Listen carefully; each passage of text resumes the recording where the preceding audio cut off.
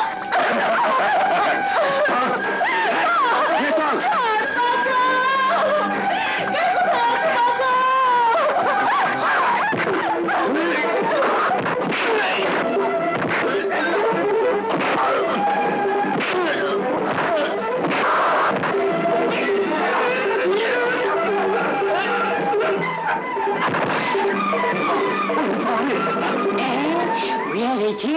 না হইয়া গেছে রে ইটু কি হলো বাচ্চা আছে হুজুর জিন ধরি না দেশ খেয়েছে মতি তুই মেয়েটির পাশে বস। আমি দেখি আশেপাশে কোনো হেকিম কবিরাজ পাই কিনা? আচ্ছা হুজুর কবিরাজ খাওয়াইলে আমার ভালো হয়ে যায় বাবা। হ্যাঁ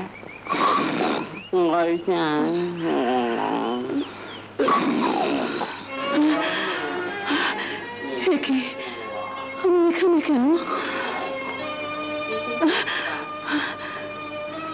না না, আমার ইজ্জতের উপর আমি কিছুতেই দাগ লাগতে দেব না। আমাকে পালাতে হবে। প্রয়োজনে জান করব হ্যাঁ পালাতে হবে।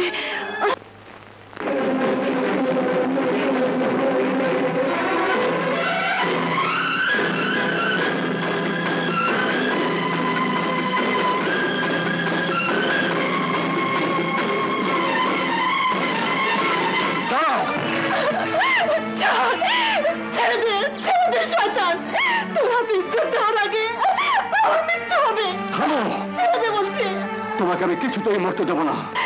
তোর মতো ডাকাতের কাছে ধরা দেবে চাইতে অনেক ভালো। ডাকাত? কাকে তুমি ডাকাত বলছো? ওই ডাকাতদের হাত থেকে আমি তোমাকে রক্ষা করছি। তবু আমাকে আত্মহত্যা করতে হবে।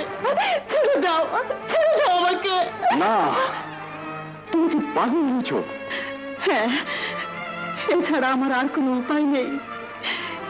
কারণ গ্রামের মেয়েকে কোনো ডাকাত তুলে নিয়ে যাবার পর সে যদি উদ্যোগ নিয়েও ফিরে আসে তবুও গ্রামবাসী তাকে কলঙ্কিনী বলেই জানে। তাই আমার বেঁচে থাকার কোনো অর্থই হয় না। আমাকে মরতে দাও। না আমি বলছি তুমি বাঁচবে। কার জন্য বাঁচবো? কে আমাকে মেনে নেবে? আমি। প্রয়োজনে আমি তোমাকে বিয়ে করব। তুমি? হ্যাঁ আমি। রূপনগরের শাহজাদা তোমাকে কথা দিচ্ছে। শাহজাদা?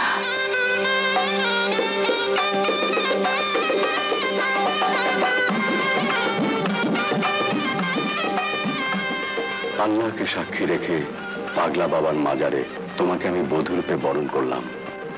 আজ থেকে আমরা স্বামী স্ত্রী।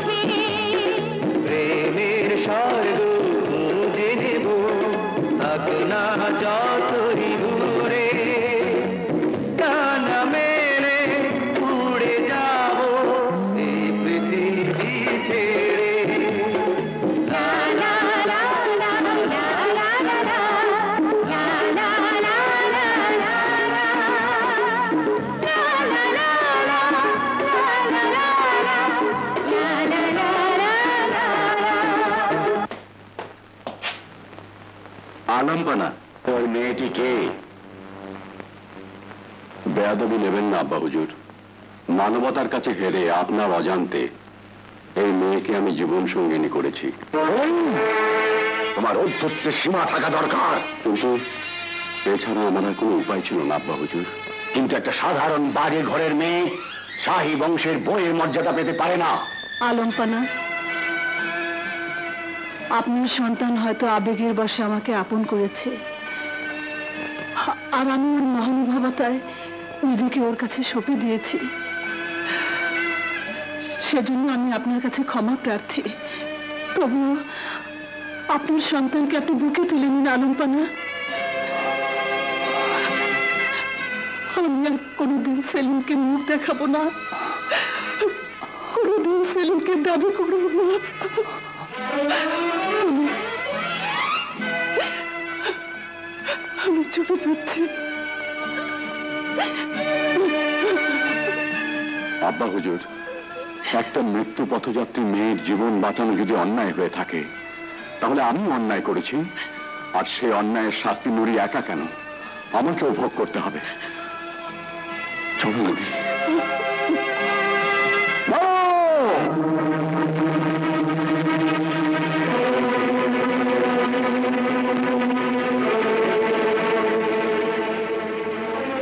এতদিন শুধু প্রজাদের বিচারই করেছি। আজ আমার সন্তানের বিচারের দিন এসেছে। তোমরা দুজনে এমন কঠিন অপরাধ করেছ যার শাস্তি আজ আমি নিজের হাতে দেবো।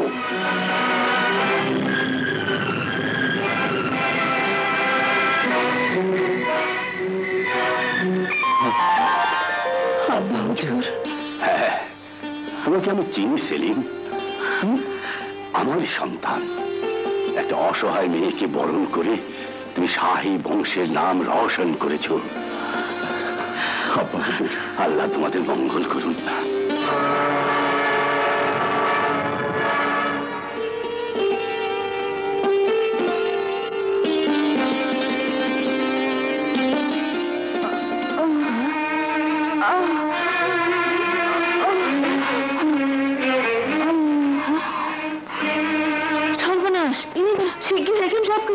যাচ্ছি আসুন। দেখুন কই দেখি দেখি।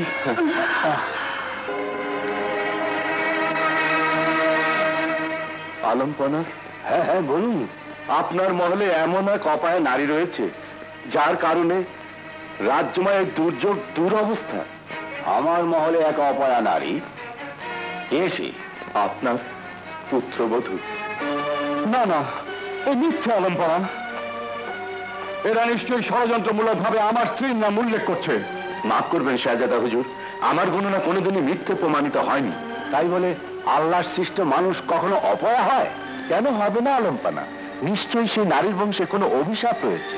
নিশ্চয়ই সেই নারীর শরীরে সাই বংশের মতো কোনো নীল রক্ত নেই। নিশ্চয়ই সেই নারীর জীবনে শনির দশা রয়েছে আলম্পানা এক ফোঁটা গোচনা পাত্র দুধকে যেমন দূষিত করে ফেলে এই ঘটনাও ঠিক তেমনি। এই পরীক্ষা। আপনি হুজুর আপনি আপনি এই সমস্ত মূর্খদের মন গড়া কথায় বিশ্বাস করছেন? হ্যাঁ হ্যাঁ করছি। কারণ এইসব বিজ্ঞ জ্যোতিষীরা মানুষের ভাগ্য গণনা করে বহু জটিল সমস্যার সমাধান করেছেন। না না বহুজন না। মানুষের ভাগ্য লেখেন স্বয়ং আল্লাহ। মানুষের ভাগ্য গণনা করার সাধ্য কোনো মানুষের আছে? আমি তা বিশ্বাস করি না। তুমি বিশ্বাস না করলেও প্রজাকুলের সুখ সুবিধার দিকে তাকিয়ে আমাকে বিশ্বাস করতেই হবে। বলুন বলুন জ্যোতিষ্কুল শিরোমণি এই সমস্যার সমাধান কি? হুজুর সমাধান বড়ই কঠিন। আপনার পুত্রবধূকে এক বস্তে যেতে হবে বনবাস। তাহলে জাতি এই চরম দুর্যোগ থেকে রক্ষা পাবে। সায়েন্সে কি পারবেন? এই কঠিন শাস্তি তার নিজ পুত্রবধূর জন্য বরাদ্দ করতে? কেন পারবেন না? আমি নির্বাসনে গেলে যদি রাজ্যে শান্তি ফিরে আসে তাহলে জাহাপনা নিশ্চয়ই সে শাস্তি আমাকে দেবেন এবং আমিও তা নত শিরে মেনে নেব। নুরি স্বামী অনাথিনীকে রাজবধূ করে যে সুখের দুনিয়া তুমি আমাকে দেখিয়েছিলে সেই নিয়ে আমি জঙ্গলে জঙ্গলে বাকি জীবনটা কাটিয়ে দেব। নাও তোমার শিরোমণিকে বুকে তুলে নাও আমাকে তুলে দাও। চলো নুরি আমিও তোমার সঙ্গে যাচ্ছি। না না স্বামী তুমি কোথায় যাবে? সেইখানে যেখানে তুমি আমি আর আমাদের সন্তান একসাথে থাকব। তোমার মনে নেই? বিয়ের দিন মাজারে আমি তোমাকে কথা দিয়েছিলাম। সুখে দুঃখে জীবনে মরণে আমরা পাশাপাশি থাকব। মনে তাহলে আজ কেন আমাকে ছেড়ে যাচ্ছ? ওয়াদা ভেঙে তুমি ছেড়ে গেল। আমি তো তোমাকে ছাড়তে পারি না। চলো নুরি। এই মহলে আর নয়। চলো। তুমি কোথায় যাচ্ছ? যে মহলে পুত্রের স্থান হয় অথচ পুত্রবধূ অপয়ার অপবাদ নিয়ে বেরিয়ে যায়। সেখানে থাকার ইচ্ছা আমার নেই। তুমি সায়েন সাহের সিদ্ধান্তকে উপহাস করছ। জানো এর শাস্তি কি? জানি, আব্বা হুজুর। হয় মৃত্যুদণ্ড, না হয় এক বস্ত্রে বনবাস। আমি জানি, একমাত্র পুত্রকে মৃত্যুদণ্ড দিতে আপনার কষ্ট হবে। তাই বনবাসে যাবার সিদ্ধান্ত আমি নিজেই নিলাম। চলো, নুরি। চলো। শাহজাদা সেলিম সেলিম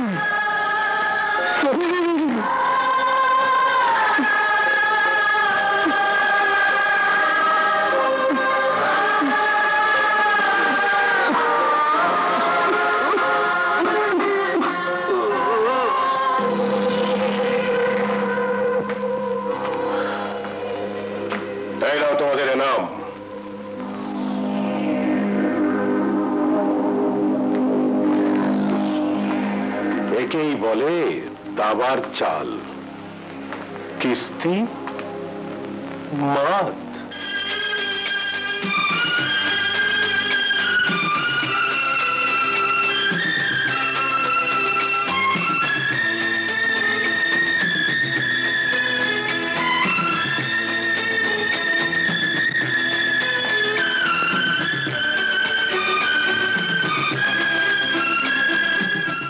শাহজাদা সেলিম নির্বাসনে যাবার পর সাত সাতটি বছর পার হয়ে গেল। কিন্তু কিছুই হলো না। না তোমরা হত্যা করতে পারলে এই বৃদ্ধ শাহেনশাকে না আমি বসতে পারলাম সিংহাসনে। জনাব যতদিন রোস্তমার দিদার পথ দুই দোস্ত শাহসাহেব দৌরক্ষী থাকবে ততদিন তাকে হত্যা করার কোনো রাস্তা নেই। প্রথমে রোস্তমার দিদারকে সরাতে হবে। তাহলে তাই করো। যাও। জনাব দিদার পথ কিঞ্চিত দুর্বল হলো। রোস্তম একাই একশো। শক্তিতে কাজ হবে না। কৌশলে কাটা দিয়ে কাটা তুলতে হবে। সে কেমন? শুনুন। না পনেরো দিনের আগে তুমি যেতে পারবে না। নিজের ঘুম হারাম করে রাতভর শাহনশাকে পাহারা দাও। আর এদিকে শূন্য বিছানা আমি রাতভর জেগে জেগে কাটাই তোমার প্রতীক্ষা। কেন? প্রতীক্ষা কেন? তোমার মন প্রাণ জোড়ানোর জন্যে পুতুলের মতো আমাদের সন্তান রয়েছে। সন্তানের জায়গায় সন্তান তোমার জায়গায় তুমি। তোমাকে কাছে পেতে বুঝি আমার ইচ্ছে হয় না? নিশ্চয়ই।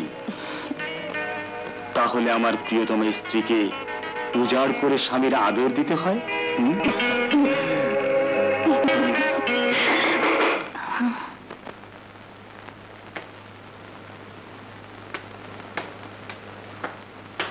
সিপাহী গ্রেপ্তার করো ওকে। সেনাপতি হুজুর কি অপরাধ আমার কেন আমাকে গ্রেপ্তার করলেন? তোকে জানে মেরে ফেলার জন্যে। না না দোহাই আল্লাহ আমার স্বামীকে মারবেন না ওকে ছেড়ে দিন। ছেড়ে দিতে পারি কিন্তু তোকে একটা কাজ করতে হবে। কাল দরবারে শাহেনশাহের সামনে তোকে অভিযোগ করতে হবে যে রস্তম তোর স্বামীকে হত্যা করে তোকে বলাৎকার করে অসম্ভব। অসম্ভব হলে তোর চোখের সামনে এই চাবুকের আঘাতে আঘাতে তোর স্বামীর মৃত্যুকে আমি সত্যি সত্যি সম্ভব করব।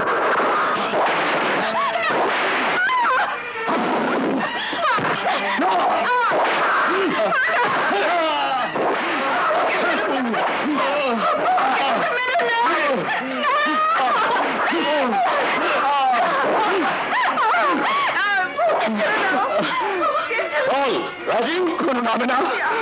রুস্তম আমার বন্ধু। তার উপরে এই মিথ্যা বাবা তুমি কখনো লাগাবে না। আমার জান গেলেও না।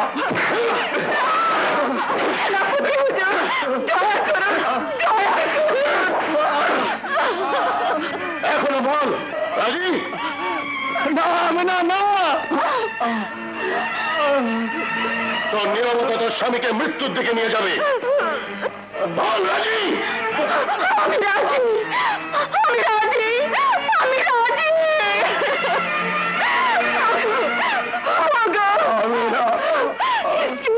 চোখের সামনে?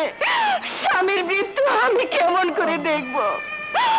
হুজুর এবার আমার স্বামীকে ছেড়ে দিন। দেব নিশ্চয়ই দেব। তবে রুস্তমের মৃত্যুদণ্ড ঘোষণার পর এই এসো লোকে। ধর। ফরিয়াদিকে হাজির করা হোক। আমার সর্বনাশ হয়ে গেছে। এবার হুজুর আমার সব কিছু শেষ হয়ে গেছে। আমি বরবাদ হয়ে গেছি হুজুর। কে তুমি? কি সর্বনাশ হয়েছে তোমার? হুজুর আমি আপনারই দেহরক্ষী দিদার ভক্তের স্ত্রী। কিন্তু আমার স্বামী আর এই জগতে নেই। তাকে খুন করে আমার ইজ্জত কেড়ে নিয়েছে। আমি এর বিচার চাই। এই অন্যায়ের প্রতিকার চাই। বলো কে সেই বলো আমি তাকে নির্মম শাস্তি দেবো। দেহরক্ষী রুস্তাম না মিথ্যে। আলাম্পনা অপরাধী সবসময় নিজেকে নির্দোষ মনে করে। জেনেও না জানার বুঝেও না করে। কিন্তু রুস্তম দিদার বককে খুন করতে যাবে কেন? কারণ একটাই দিদার ভক্তের সুন্দরী স্ত্রীর লোক আলম্পানা এ মিথ্যে। আর কেন এই ষড়যন্ত্র? আজ আমি পরিষ্কার বুঝতে পারছি। নিশ্চয়ই চক্রান্তে ওই সিপাহ সালারের হাত রয়েছে আলম্পানা। দেখুন দেখুন আলম্পনা নিজের দোষ ঢাকতে এখন আমাকে দোষী সাব্যস্ত করতে চায়। বোন আমি তোমাকে প্রশ্ন করছি। কেন? কোন স্বার্থে? কার স্বার্থে? তুমি আমার নামে মিথ্যে নালিশ করছ? দিদার আমার বন্ধু। তুমি আমার ভাবি। বলো বলো কে? কে দিদারকে খুন করেছে? কে তোমার ইজ্জত উঠেছে তুমি তুমি তুমি! বাদিনী রুস্তম যে তোমার স্বামীকে খুন করেছে তোমার ইজ্জত লুটেছে তার কোনো সাক্ষী আছে? হুজুর, স্ত্রীর কাছে স্বামী মাথার মণি, পরম ধন। নির্জত নারী বাজারে গুলাম করে না। ঠিক ঠিক। কাল প্রকাশ্য দিবালোকে অর্ধাংশ মাটিতে পুঁতে পাথর ছুঁড়ে রুস্তমের মৃত্যুদণ্ড কার্যকর করার আদেশ দেওয়া হলো। নিয়ে যাও।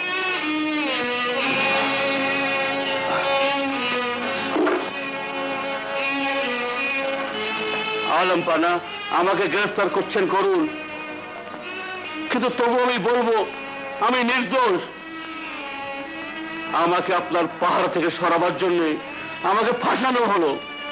নিয়ে যাও নিয়ে যাও নিয়ে যাও।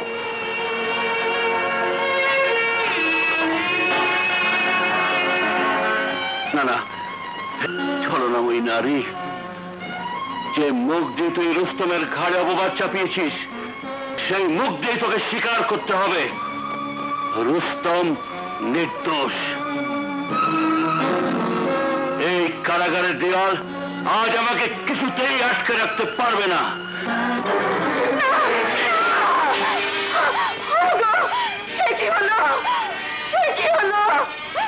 আমাদের ছেড়ে কোথায় গেলে?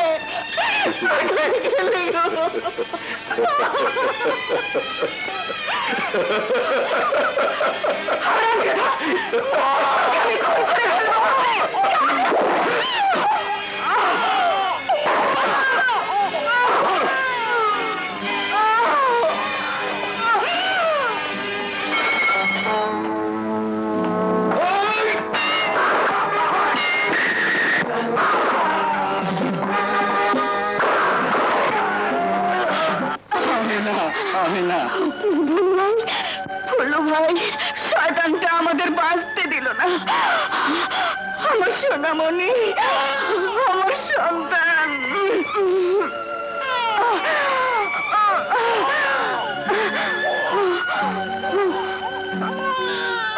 এবার সত্যি করে বলো কে আমার বন্ধুকে খুন করেছে?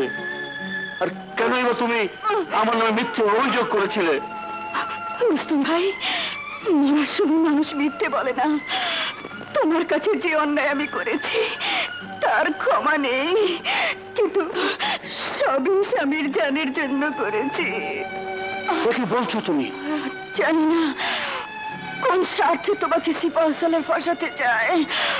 আমার স্বামীকে বন্দি করে শয়তানটা আমাকে দিয়ে মিথ্যে অভিযোগ করেছে।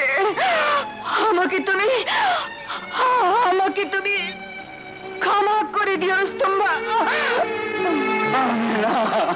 আমি না এ কি হলো আমি না একদিনের মধ্যে একটা সাজানো সংসার চার খার হয়ে গেল। এখন এই দুধের শিশুকে কে দেখবে? কে মার নেবে আমি। আজ থেকে আমি ওর পিতা মাতা আমার প্রাণপ্রিয় বন্ধুর ছেলেকে আমি পথে ফেলে দিতে পারি না। আমি এই কাঁচা লোহাকেই একদিন শানিত ইস্পাত বানাবো। যে ইস্পাতের আঘাতে সিপাহ সিপাহসালার ওই পাপের দুর্গ ভেঙে নাম হবে। আজাদ।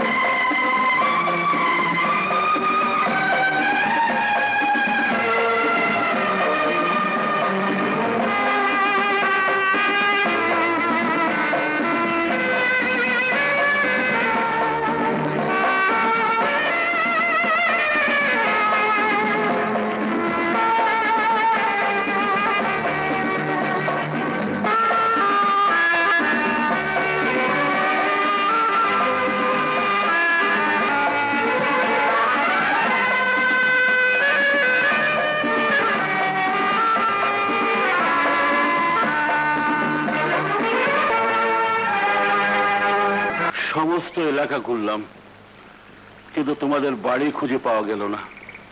নিশ্চয়ই তুমি পথ হারিয়ে ফেলেছ। চলো এবার ওই দিকটা খুঁজে দেখা যাক। সব চলে পড়ে শেষ হয়ে গেছে।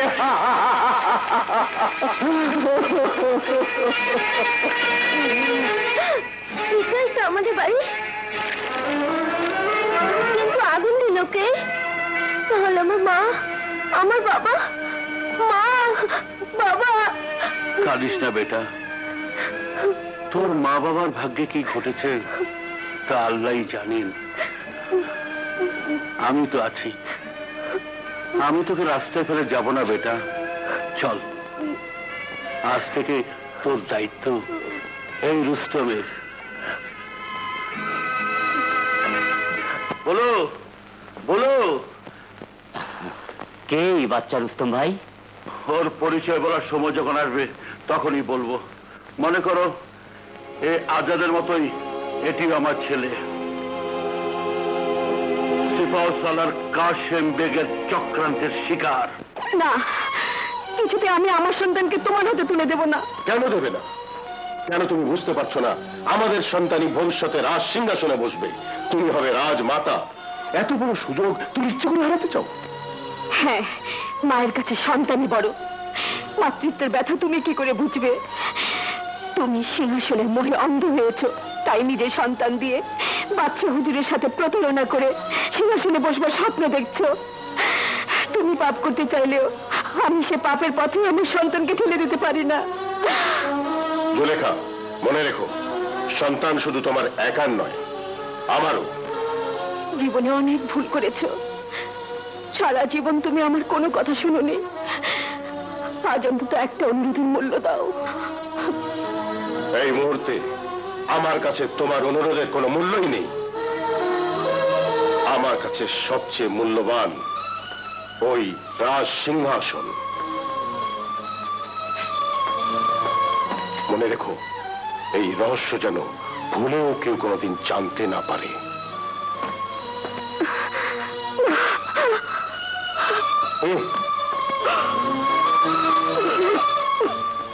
কেউ আমার সেলিম আর ওর স্ত্রী পুত্রকে ফিরিয়ে আনতে পারল না। আমার মৃত্যুর পর এই সিংহাসন কি শূন্য পড়ে থাকবে? না লম্পনা। রাজ সিংহাসন কখনো শূন্য পড়ে থাকে না। আপনার পরে এই শাহজাদা মুরাদ হবে শাহেনশাহ কে এই বালক? আপনার নাতি। শাহজাদা সেলিমের পুত্র হ্যাঁ? অনেক খোঁজ করে সীমান্তের এক বিরান জঙ্গলে ওদের খোঁজ পেলাম। আপনি যে অনুতপ্ত সে কথা বলেও শাহজাদার মন গলাতে পারলাম না। কিন্তু আপনার অসুস্থতার কথা শুনে মুরাদকে পাঠিয়ে দিল। ওরে দাদু আমার আমারই ভুলে তোর পিতা মাতাকে আমি হারিয়েছি। অভিমান করে ওরা দূরে সরে রয়েছে। তুই তো দূরে সরে যাবি না দাদু। না আলম্পনা।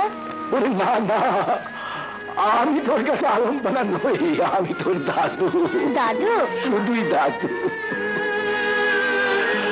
আমার পরে তুই হবি এই রাজ্যের সাহেসা।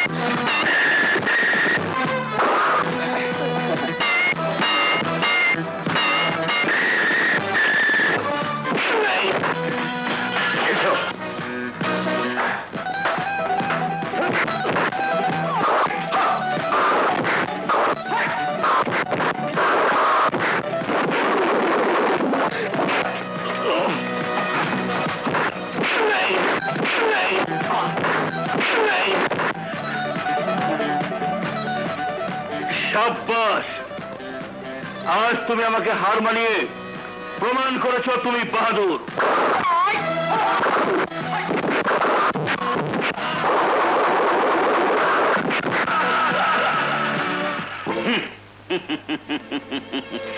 আল্লাহর কসম, তোমার শক্তির মোকাবেলা করার মতো সাহস কারও আছে বলে আমি মনে করি না। অন্যায় যদি আজ আকাশের মতো উঁচু দেয়াল হয়ে দাঁড়ায়, তুমি তোমার বাহুর শক্তি দিয়ে সেই দেয়ালকে ভেঙে চুরমার করে ফেলবে। অত্যাচারের কঠিন শৃঙ্খল তোমার মতো বলবান বীর যোদ্ধাকে আর কারারুদ্ধ করে রাখতে পারবে না। তাই আজ থেকে তুমি আর রোমার নও।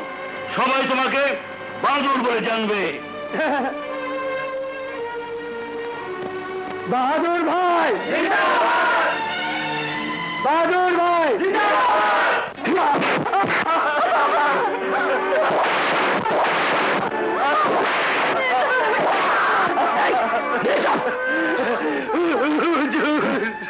আপনার পায়ে পড়ি। আমার এত বড় সর্বনাশ করবেন না। আমার সর্বস্ব নিয়ে গেলে আমি না খেয়ে মরে যাব। আল্লাহর দোয়াই লাগে। আমার এগুলো নেবেন না। ওদের গরিব চাষাদের মুখে ওই একই কথা। চুরাহি না হুজুর আমাকে শেষবারের মতো আরেকবার সুযোগ দিন। এবারে ফসল ঘরে উঠলেই আমি পাই পাই করে খাজনা শোধ করে দেবো হুজুর।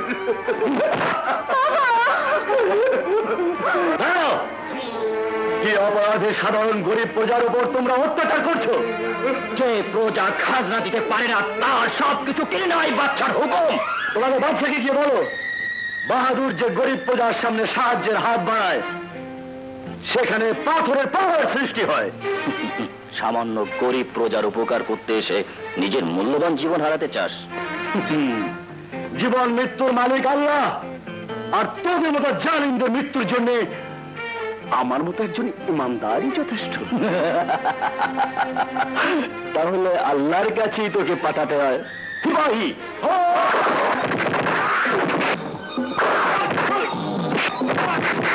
Come on!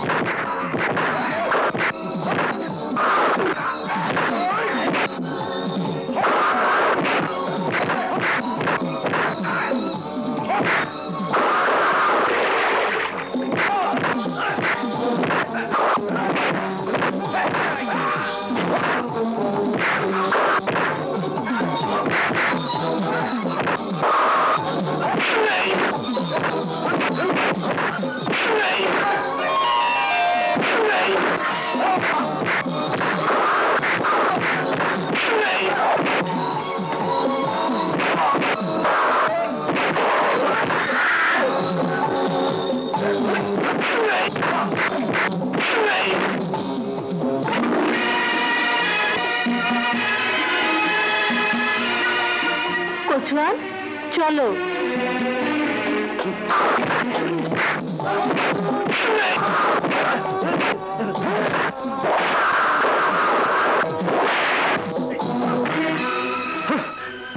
সিপাহীদের অবস্থা দেখেছিস? এর পরে আর এ ধরনের অত্যাচার হলে তোকে আমি জিন্দা দাফন করে ফেলব। যাও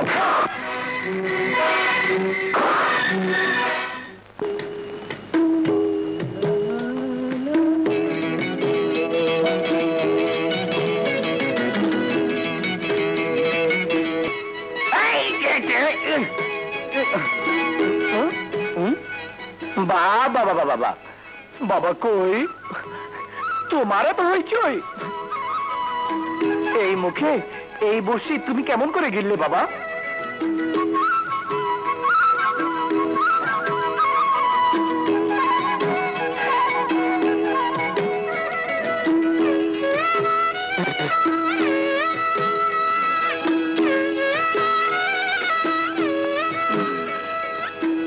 এইবার দেখা যাক।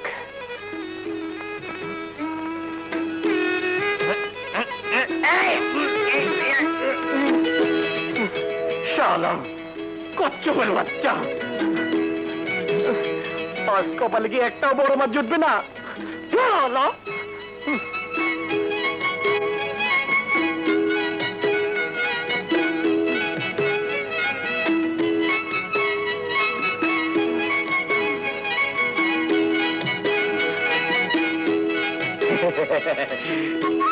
এইবার নিশ্চয়ই বিরাট মাছ কে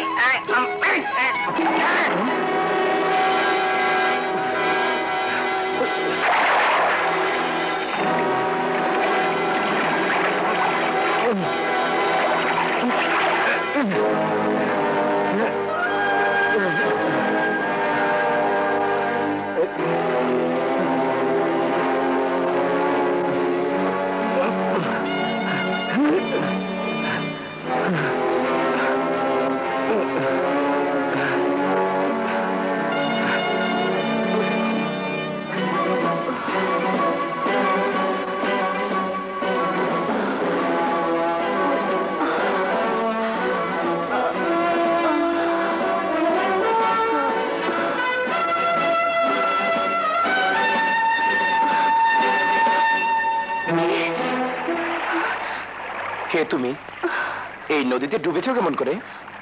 আমি মরতে চাই কিন্তু তুমি আমাকে বাঁচালে কেন? আমি বাঁচতে চাই না। আমাকে মরতে দাও। কেন? কেন মরতে চাও? বদমাসদের হাতে ইজ্জত দেবার চাইতে মরে যাওয়া অনেক ভালো? কারা তোমার ইজ্জতে হামলা করেছে? শাহজাদা মুরাদের লোকজন। ওরা আমার বাবা মাকে খুন করে আমাকে তুলে নিয়ে যাচ্ছিল। বলাৎকারের হাত থেকে বাঁচার জন্য আমি নদীতে ঝাঁপিয়ে পড়েছি। আমাকে মুক্তি দাও। নইলে ওদের হাত থেকে আমি রেহাই পাবো না। জান দিলে তুমি শুধু একাই রেহাই পাবে। কিন্তু ওই অত্যাচারীদের হাত থেকে রেহাই পাওয়ার জন্য দেশের অসহায় নারী কি জান দেবে? চলো আমার সাথে। কোথায়? তোমার বাড়ি। না না ওখানে গেলে শকুনের দল আমাকে ছিঁড়ে খেয়ে ফেলবে। আজাদ যার জীবন বাঁচিয়েছে আজকের পর তার দিকে কেউ চোখ তুলে তাকালে আমি তার চোখ উপড়ে ফেলব। এসো। সেদিন তার খুঁটির জোর ওই সিপাহ সালার তাকে রক্ষা করতে পারবে না। না আজ আর আমি তোমার কোনো কথাই শুনব না। একদিন তোমার কথা মতোই আমার বুকের মা কথা ছিল সময় মতো ওকে তুমি আমার কাছে ফিরিয়ে দেবে। হ্যাঁ বলেছিলাম কিন্তু সে সময় এখনও ফুরিয়ে যায়নি। কিন্তু আমি মা হয়ে সন্তানকে চোখের আড়ালে কিছুতেই রাখতে পারব না। ভুলে যেও না জুলেখা তোমার মুরাদ আমার ভবিষ্যৎ। আমি শুধু সেদিনের অপেক্ষায় আছি। যেদিন তুমি হবে মালেকা। কিন্তু আমি চাই আমার সন্তান। ওকে আমার কোলে ফিরিয়ে দাও। জুলেখা! না তোমার কোনো কথাই শুনব না। মা হয়ে যে নিজের সন্তানকে সন্তান বলে পরিচয় দিতে পারে না তার মতো হতভাগী আর কে থাকতে পারে? আজ আমার সন্তানের জন্মদিন আমি তার কাছে থাকব না। এই যন্ত্রণা সহ্য করা যাইতে মৃত্যু যে অনেক ভালো অনেক ভালো।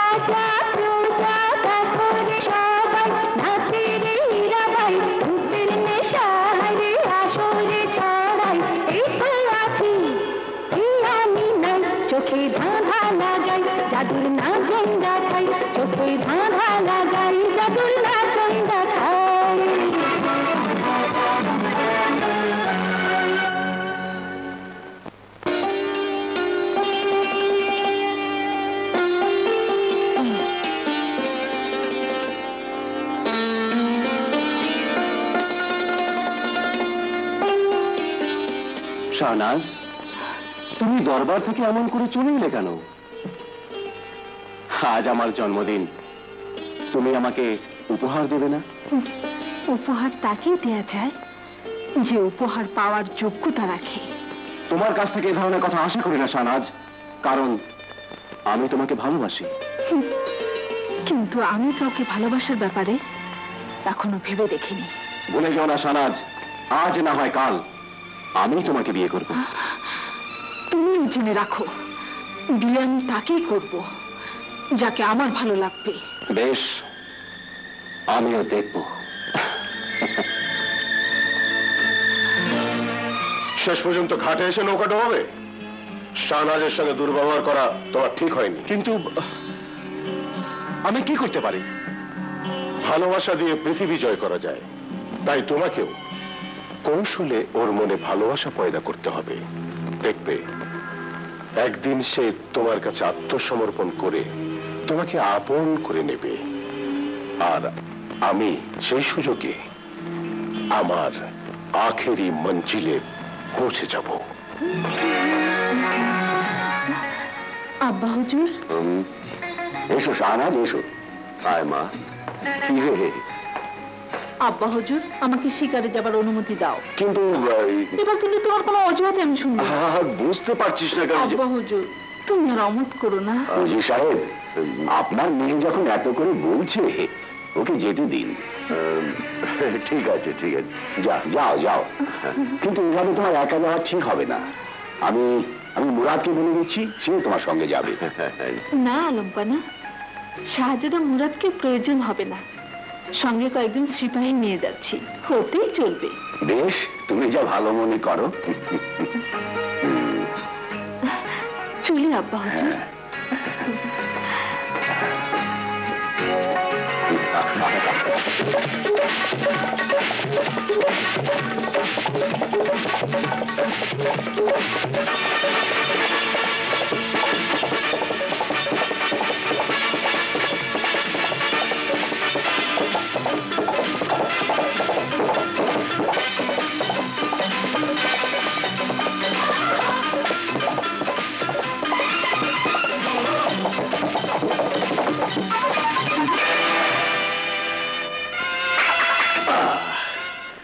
সালাম শাহজাদি। এই ঘোড়া আমার। তুমি? চিনতে পেরেছেন তাহলে? যাক আমার ঘোড়া আপনার সঙ্গে কোনো বেদবি করেনি? না না তোমার ঘোড়া খুব বাহাদুর। আপনি ভুল করছেন শাহজাদি। আমার নাম বাহাদুর।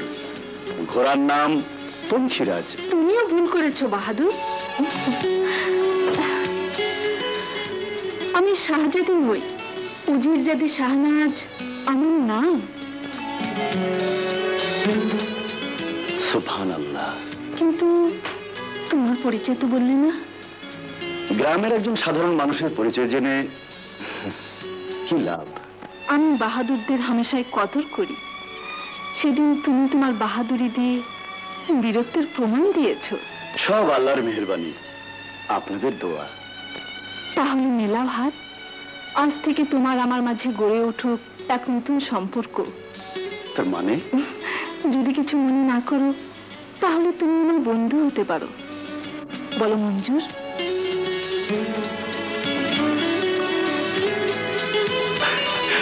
মঞ্জুর।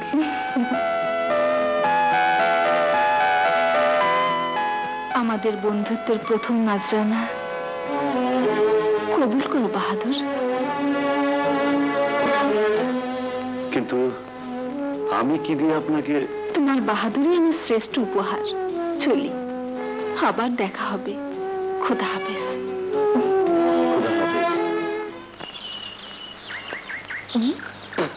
ওমর ওমর দাঁড়া দাঁড়া। কি রে? এত দূরে দূরে থাকিস কেন? যদি তোকে বোঝাতে পারতাম তোকে আমি কত ভালোবাসি। কি রে এত দামি আংটি কোথায় পেলি? উজির জাদি আমাকে দিয়েছে। নিশ্চয়ই তুই তাকে মন দিয়েছিস।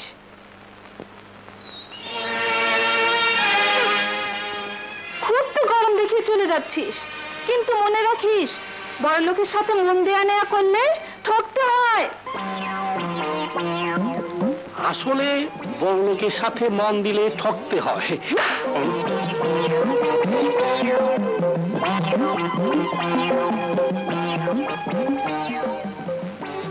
থাপ্পড়টা গরম হলে মিঠা আছে। তাছাড়া দেখে নাই, অত লজ্জার কিছুই নেই।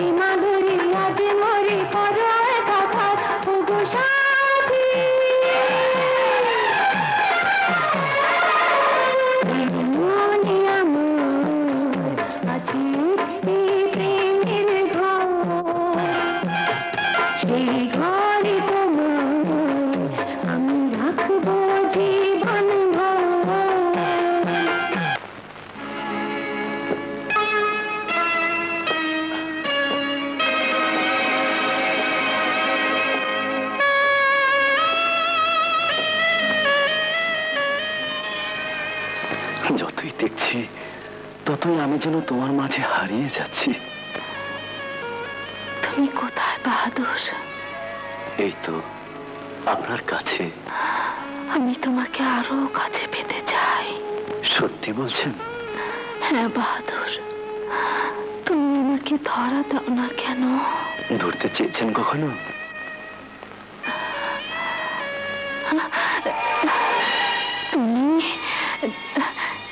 এত রাতে এখানে? ভাবলাম বন্ধুত্বের নিদর্শন স্বরূপ আপনি আমাকে আংটি দিয়েছিলেন। বিনিময়ে আমি কিছুই দেইনি। তাই আমার এই ক্ষুদ্র উপহার কবুল করলে খুশি হব। বেশ পরিয়ে দাও।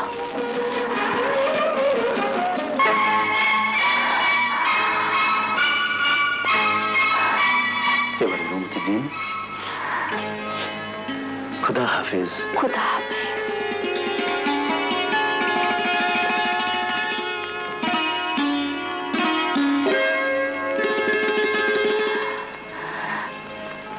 তোমার ভালোবাসারই উপহার চিরদিন আমার স্মৃতি হয়ে থাকবে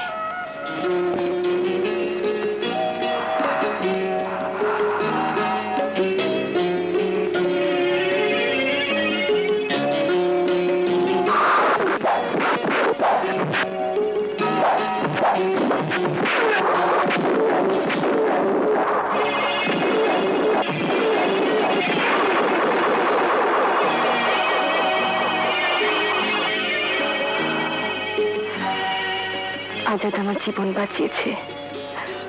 আমি কোনোদিন শোধ করতে পারব না। আজাদের আশ্রয় থাকাই আমার জন্য নিরাপদ। মানুষ হিসেবে সে খারাপ নয়। না, আমাকে মরতে দাও। আমি বাঁচতে চাই না। তুমি আমাকে কেন বাঁচালে? বাড়িতে ফিরে গেলে শকুনের দল আবার আসবে। তখন আমাকে কে রক্ষা করবে? আমি। আমি তোমাকে রক্ষা করব, সুখী। আমি তোমাকে মরতে দেব না। আজ থেকে তোমার সমস্ত দায়িত্ব আমার।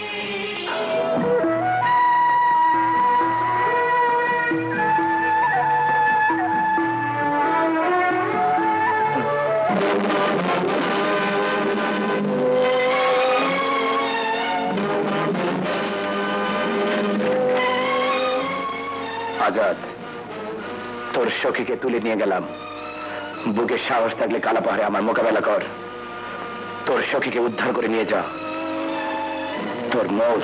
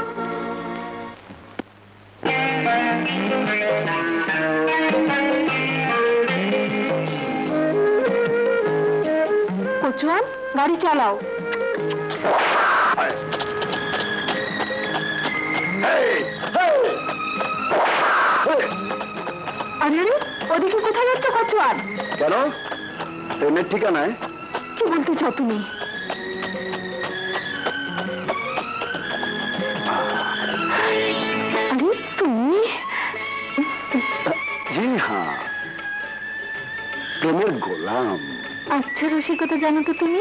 প্রেমিকের মনে যদি সামান্য রসই না থাকে তো জীবনের মূল্য কি? চলো আজ তোমাকে বহুদূর নিয়ে যাব যেখানে বসে নির্জনে দুজনে মনের কথা বলব।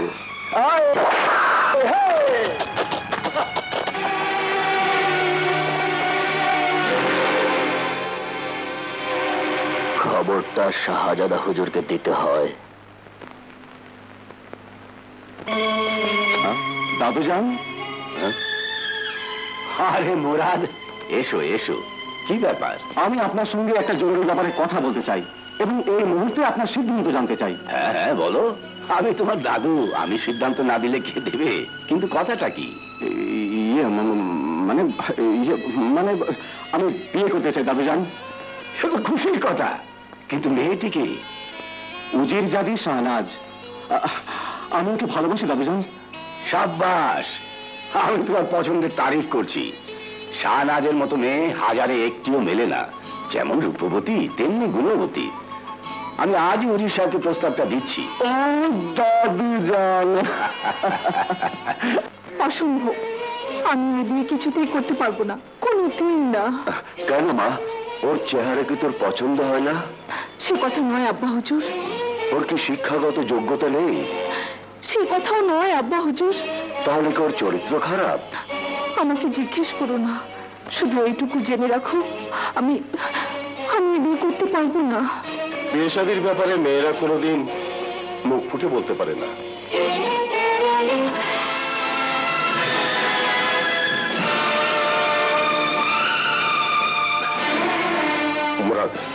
আমার সঙ্গে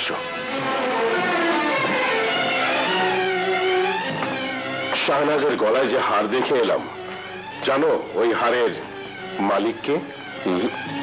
আসল শাহজাদা ওমর। কিন্তু ওই হার শাহনাজের কাছে এলো কি করে?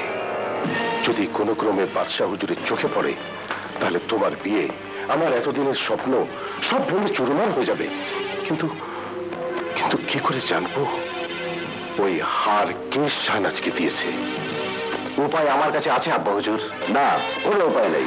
প্রেম মহাব্বত ভালোবাসার অর্থ এই নয় যে তুই পিতার মর্যাদার উপর আঘাত করে ফায়দা লুটবি। আমি শাহানশাকে কথা দিয়েছি। তোর এই মেয়েলি মহব্বতের খাতিরে বাদশাকে দেওয়া প্রতিশ্রুতি আমি ফিরিয়ে নিতে পারব না। বেশ তুমি যদি না পারো আমি শাহিনশার কাছে যাব।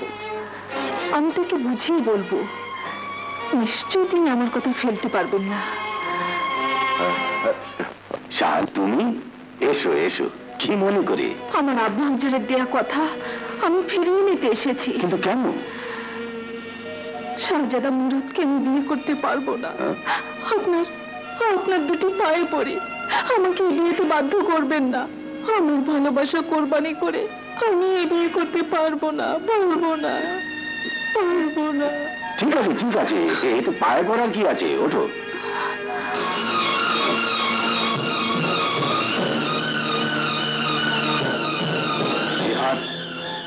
ইহার তুমি কোথায় পেয়েছ? আমি দিয়েছি দাদু যান এই হার আমি শাহনাজকে পরিয়েছি। মিথ্যে কথা। এই হার শাহজাদা মুরাদ আমাকে দেয় না হ্যাঁ দাদু যান আমি তো দিয়েছি। ও আপনার সঙ্গে ঠাট্টা করছে। না না ঠাট্টা আমি করছি না আলমপানা। তাহলে কে তোমাকে এই হার দিয়েছে? যাকে আমি ভালোবাসি। দাদু যান ওর কথায় বিশ্বাস করবেন না। অবিশ্বাস আমি কাউকেই করছি না। তুমি বলছো তুমি দিয়েছ, শাহনাজ বলছে ওমর দিয়েছে। তোমরা কেউই জানো না এই হারের পেছনে কি রহস্য লুকিয়ে আছে। এ কোনো সাধারণ হার নয়। আইনত এই হার তোমার পক্ষ থেকে শাহনাজের গলায় শোভা পাওয়া উচিত। কিন্তু শাহনাজের কথায় ব্যাপারটা আমার কাছে অস্বাভাবিক মনে হচ্ছে। যদি তাই হয় তুমি কাল দরবারে অমরকে আসতে বলো? আমি তার মুখ থেকে এই হারের আসল রহস্য জানতে চাই।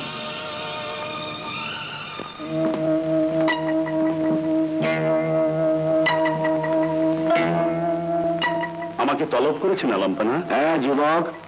তোমাকে সত্যি করে আমার একটি প্রশ্নের জবাব দিতে হবে। যে প্রশ্ন আমাকে এক জটিল সমস্যায় ফেলে দিয়েছে। আমার মতো একজন সাধারণ প্রজা আপনার মতো একজন সায়েন্সাকে সমস্যায় ফেলেছে আপনি কি বলছেন, আলাম্পানা? ভালো করে দেখে উত্তর দাও। এ হার তুমি চেনো?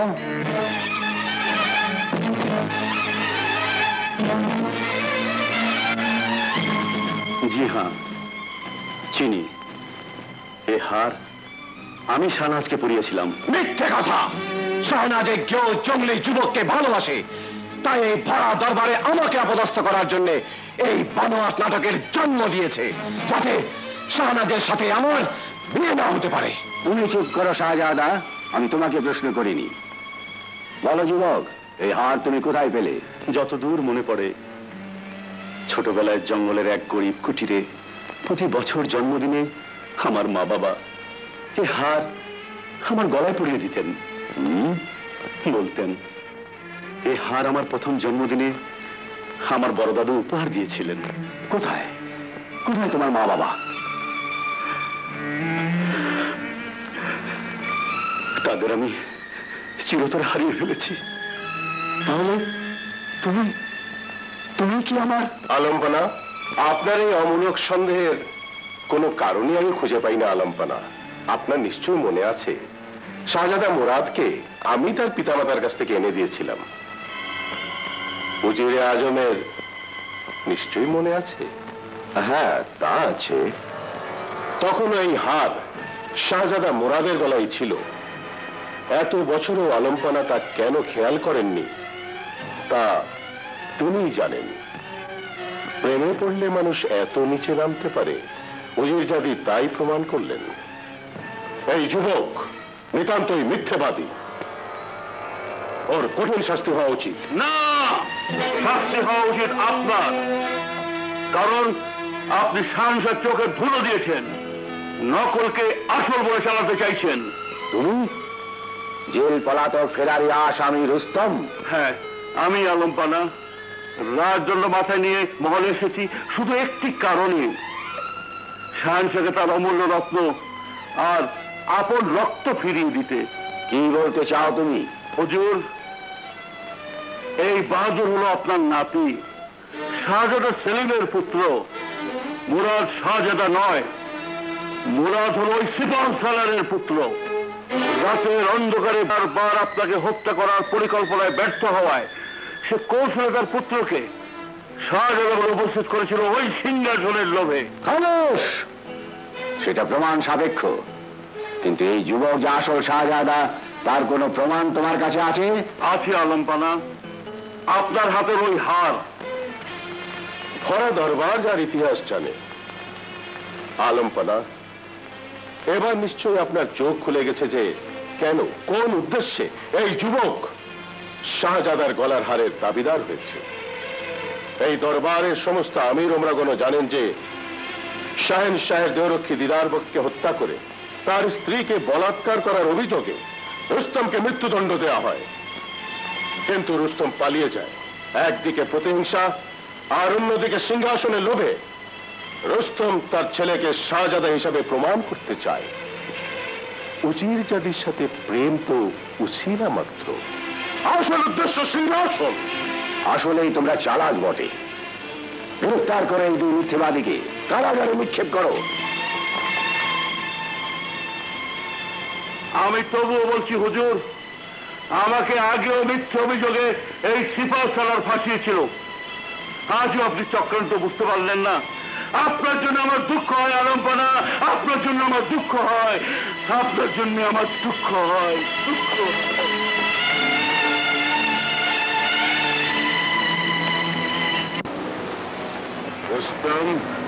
হাতির শরীরে শক্তি বেশি, কিন্তু মগজ কম।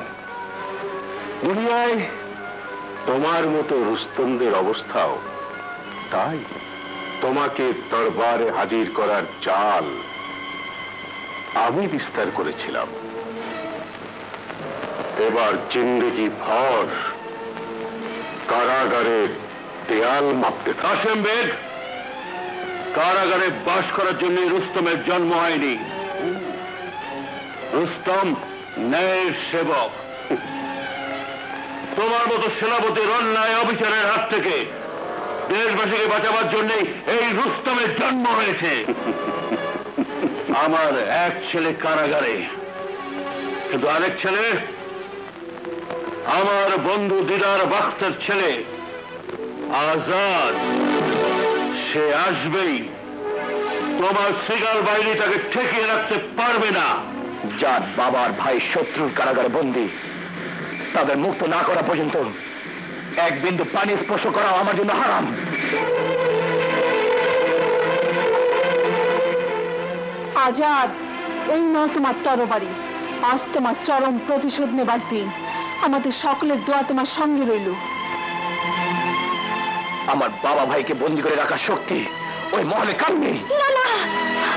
এত বড় রাজশক্তির বিরুদ্ধে তুমি একা কিছুই করতে পারবে না। ওরা তোমাকে মেরে ফেলবে।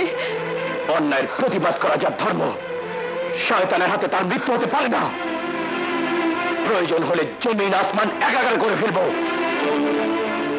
তবু কারাগার ভেঙে বাবার ভাইজনকে মুক্ত করে আনবই।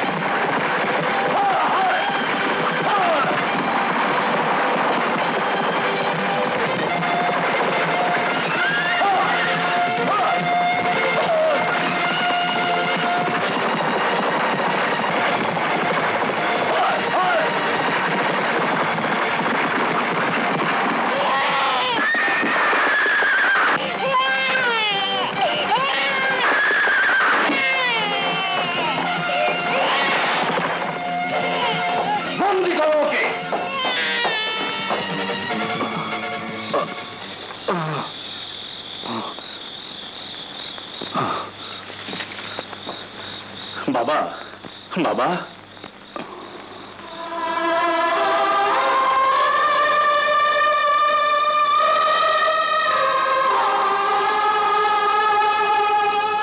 কে তুমি বাবা? কি চাও? ঘোড়ার উপর আমার বাবা আহত অবস্থায় রয়েছেন। তার চিকিৎসার দরকার। অচেনা এলাকা। যদি একটু সাহায্য করতেন। হ্যাঁ হ্যাঁ অবশ্যই। চলো তো দেখে চলো। কে রোস্তম সাজেদ হুজুর আপনি আপনি বেঁচে আছেন তোমার এই অবস্থা কারা করেছে হ্যাঁ, যারা আপনাকে এই দুর্দশা ফেলেছে ওরে বাহাদুর চেয়ে দেখ চেয়ে দেখ এই বৃদ্ধকে চিনতে পারিস কিনা ওরে ইনি তোর পিতা শাহজাদা সেলিম পিতা পুত্রকে মিলিয়ে দিতে পেরে আমার এতই খুশি লাগছে যে মৃত্যু হলো আমার দুঃখ নেই। না না রোস্তম, আমার এত বড় উপকার করে তুমি মরতে পারো না।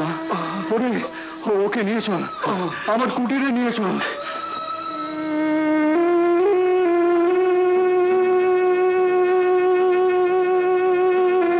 আর কোনো ভয় নেই, আমি এক্ষুনি দাঁড়াই পাঠিয়ে দিচ্ছি। আচ্ছা।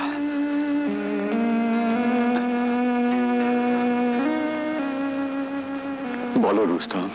তারপর কি হলো? শাহানশার নজরে আমি খুনি। কারাগার পলাতক আসামি। কিছুতেই প্রমাণ করতে পারলাম না যে আমি নির্দোষ। সবই সিপাহ সালারের চক্রান্ত। হয়তো এটাই আল্লাহর ইচ্ছা ছিল। নইলে তো অমরকে আমি পেতাম না।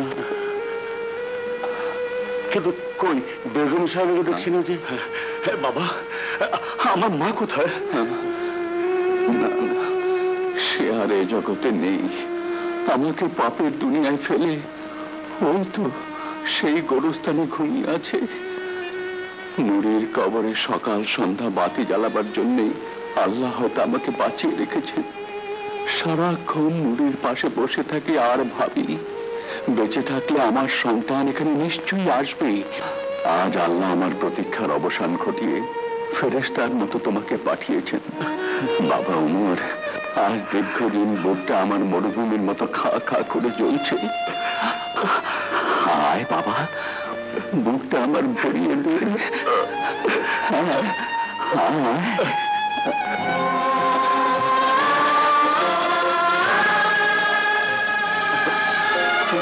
বাবা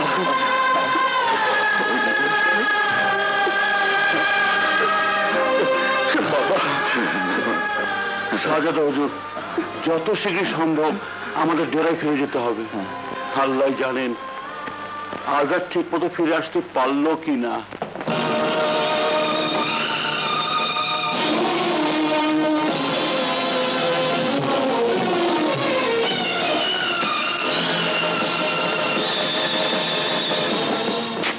নওজোয়ান আমার অসংখ্য সিপাহীকে হতাহত করে কারাগার থেকে সাজাপ্রাপ্ত আসামিকে পালিয়ে যেতে সাহায্য করে তুমি যে অন্যায় করেছ জানো তার শাস্তি কি? শাহনসারা মর্জি মাফিক কখন কাকে কি শাস্তি দেয় তা কেবল তাদেরই জানা। কিন্তু আমি জানতে চাই কোন অপরাধে আমার ফেরেস্তার মতো বাবার ভাইকে আপনি কয়েদ করেছিলেন? ফেরেশতার মতো? তুমি জানো তোমার বাবার কুকীর্তির ইতিহাস? তার আগে ওকেই জিজ্ঞাসা করুন আলম্পনা। ও নিজেই ওর জন্ম বৃত্তান্ত জানে কিনা? জানি রুস্তম বাবা আমার পালক পিতা। তুমি কি জানো যুবক, তোমার পিতা শাহানশার দেহরক্ষী ছিল? তাও জানি। বাবা আমাকে বলেছে, কিন্তু তোমার পালক পিতা ফেরারি রুস্তম নিশ্চয়ই বলেনি যে সে নিজেই তার বন্ধু, তোমার পিতা দিদারবতকে হত্যা করেছে। হ্যাঁ হ্যাঁ করেছে। তোমার পিতাকে হত্যার পর রুস্তম তোমার মাকে বলাৎকার করেছে। চিৎকার করো না! দরবারিদের জিজ্ঞেস করে জেনে নাও, তোমার মা নিজেই দরবারে বিচার চেয়েছিল। যার জন্য রুস্তমকে মৃত্যুদণ্ড দেওয়া হয়েছিল। কিন্তু কারাগার থেকে পালিয়ে গিয়ে সে তোমার মাকেও হত্যা করে তোমাকে নিয়ে যায়। না না মিথ্যে কথা! মিথ্যে নয় যুবক। দরবারের প্রত্যেকটি লোকের সাক্ষী। ধিক্কার তোমার মতো যুবকদের প্রতি। যারা লাঞ্ছনার প্রতিকার না করে বরং লাঞ্ছনাকারী আশ্রয়ে মানুষ হয়ে নিজেকে ধন্য মনে করে তুমি অসতী মায়ের সন্তান। যাহাব না এই ঘটনা যদি সত্যি হয় রুস্তমকে আমি জানে মেরে ফেলব। কিন্তু কিন্তু যদি মিথ্যে প্রমাণিত হয় তবে এই দরবারে প্রত্যেকটি প্রাণীকে আমি কুকুরের মতো মারবো। সে সুযোগ তোমাকে দেওয়া হবে না যুবক। রাজ সিপাহীদের উপর আক্রমণ করে রাজোদ্রয়ীদের মুক্ত করার অপরাধে আমি তোমাকে দণ্ডিত করলাম।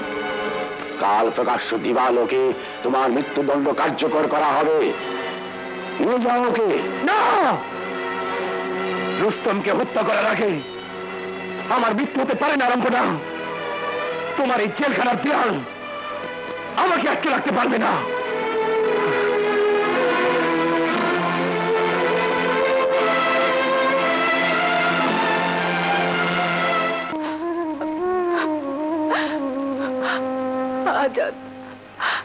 তোমাকে ছাড়া আমার কিছুই ভালো লাগে না। একদিন তুমি আমাকে বাঁচতে শিখিয়েছিলে। তোমার ভালোবাসার বুকে দিয়ে আমি আজও বেঁচে আছি। তুমি ছাড়া যে আমার আর কেউ নেই। আজাদ তুমি যদি কিছু হয়ে যায়, আমি কিছুতেই বাঁচবো না। কিছুতেই না। Oh,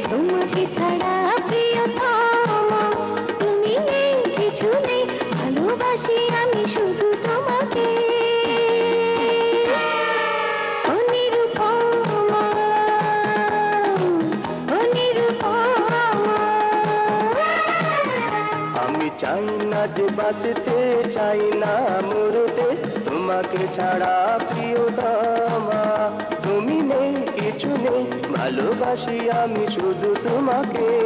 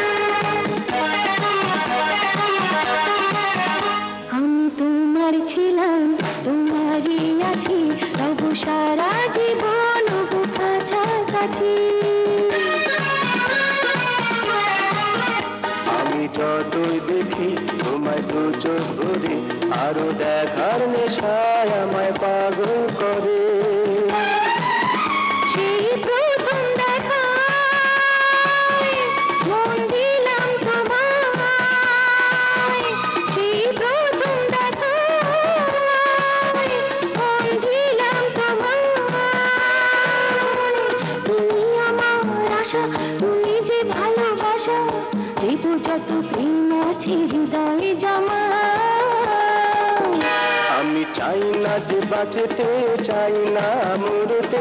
তোমাকে ছাড়া প্রিয়তমা তুমি নেই, কিছু নেই, ভালোবাসি আমি শুধু তোমাকে।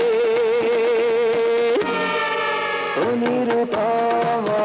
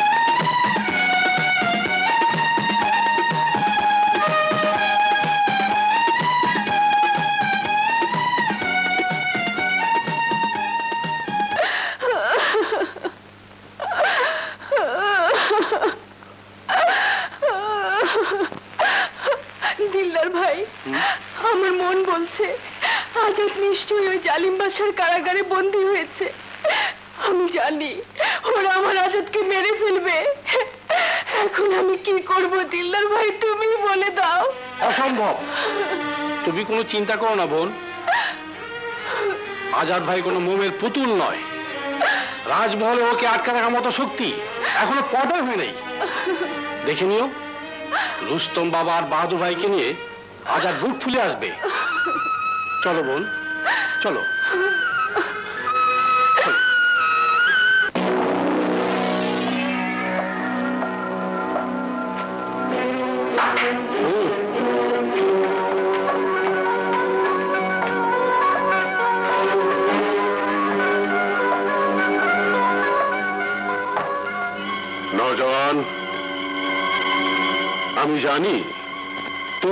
উপর ক্ষেপে আছো?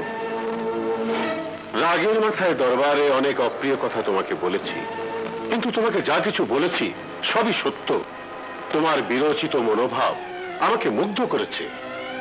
আমি চাই না প্রতিশোধের আগুন বুকে নিয়ে তোমার মতো বীরের জীবন প্রদীপ কাল সকালেই নিভে যাক। সেনাপতি মহোদয়ের হঠাৎ মহৎ উপলব্ধির কারণ? কারণ একটাই তোমার বাবা দিদার বক্ত আমার বিশ্বস্ত ছিল, সৎ ছিল, সাহসী ছিল। যার জন্যে রুস্তমের ঘৃণ্য চক্রান্ত সফল হতে পারেনি। কি বলতে চান আপনি?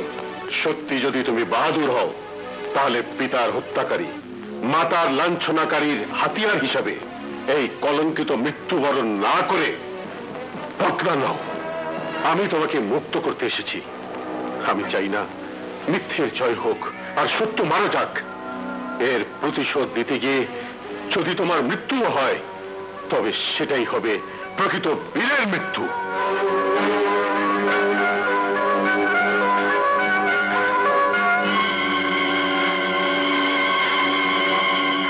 যাও, এখান থেকে বেরিয়ে যাওয়ার সমস্ত ব্যবস্থাই আমি করে রেখেছি।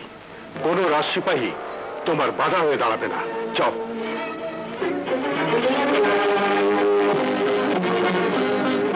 সাপের খাঁচায় নেউল ছেড়ে দিলাম। একে অপরকে হত্যা করবে আর আমার রাস্তা পরিষ্কার।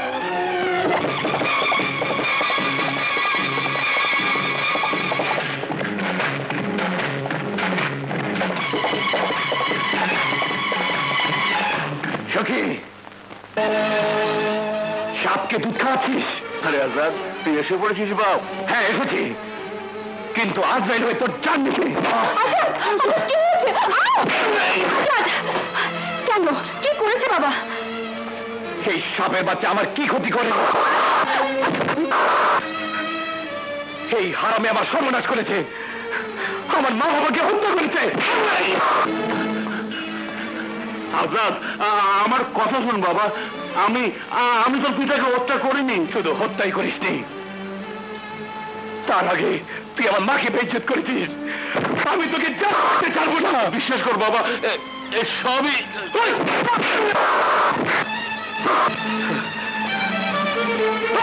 আজাদ! বাবার বুকে ছুরি বসানোর আগে আমি আমার বুকে ছুরি বসাবো। থামলি কেন? মার আমার বুকে ছুরি বসিয়ে যদি তোর বুক ঠান্ডা হয় বসিয়ে দে ছুরি। হত্যা কর আমাকে। চলে আয় সখী। এই পাপি রাস্তায় আর নয়। এটা মানুষের রাস্তা না নয়। বিষাক্ত সাপের গর্ত। চল। আজাদ। বাবা।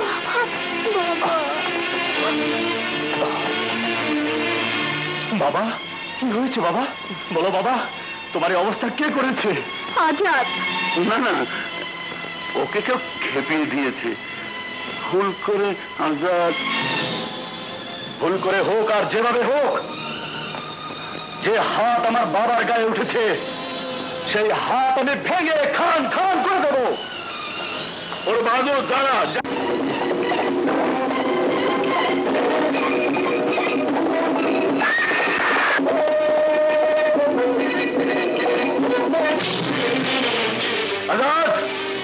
আমার প্রশ্নের জবাব না দিয়ে তুমি এখান থেকে এক পারবে না।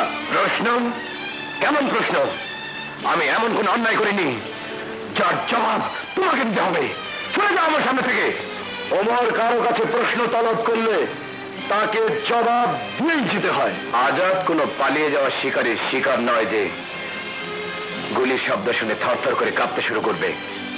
অমর তোমার এই ধমকি আমাকে নয়। অন্য কাউকে দাও। এখনও সময় আছে। অপরাধ স্বীকার করে বাবার কাছে ক্ষমা প্রার্থনা করো। না। যে অপরাধ সে করেছে, তার শাস্তি হওয়া উচিত ছিল মৃত্যু।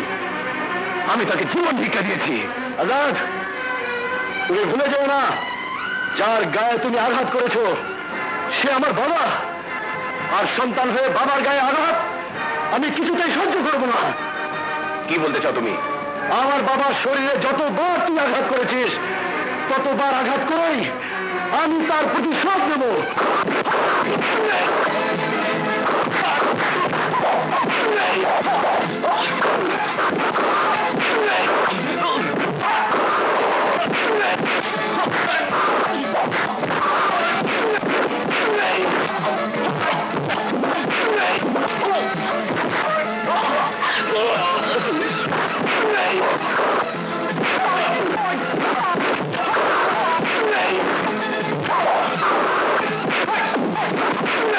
Hooray! Hooray! Hooray! Fight! Fight! Fight! Hooray!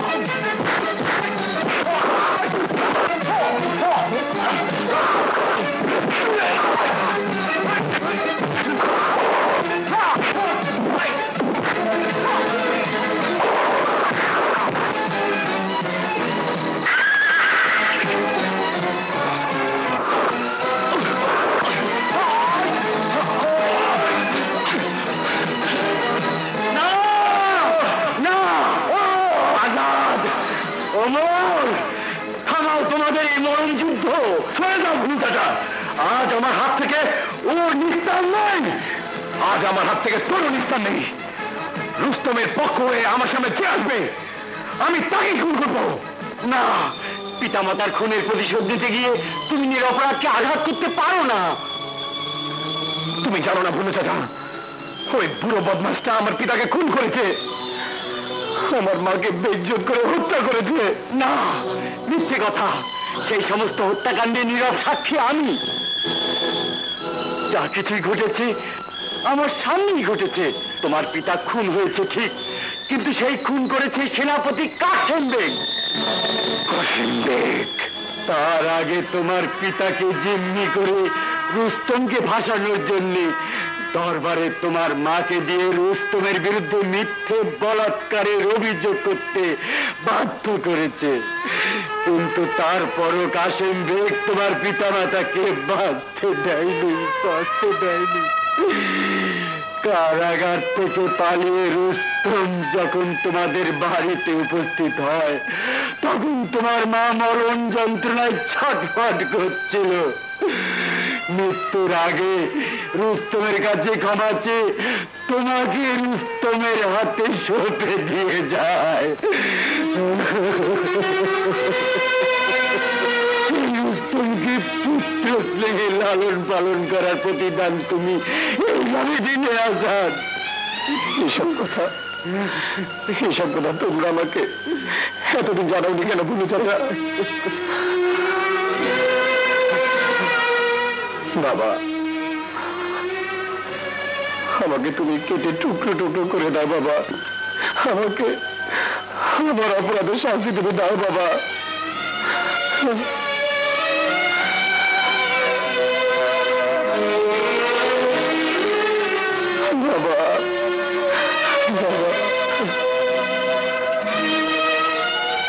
ভাইয়া, আমাকে তুমি ক্ষমা করো ভাইয়া। না আমি তোমার সাথে অনেক বেয়াদবি করেছি। তুমি ক্ষমা করো ভাইজান, ক্ষমা করো। সেনাপতি কাশেম বেগ, চক্রান্তের খেল তুই অনেক খেলেছিস। কিন্তু এবার তোর চক্রান্তের জাল ছিঁড়তে শুরু করেছে। তুই কুত্তার মতো মারা যাবি। জি হ্যাঁ আলমপোলা আজাদ কারাগারে নেই। এই কেমন নিরাপত্তা বিধান করছেন আপনারা? কারাগার থেকে সাজাপ্ত আসামি পালিয়ে যায়? বুঝলি আলম আমি তো কিছুই বুঝতে পারছি না আলম বলে দারোগায় দরবারে হাজির করা হোক।